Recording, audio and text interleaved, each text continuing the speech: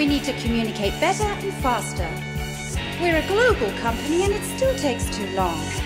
It's not just about cutting costs. Complexity is always increasing.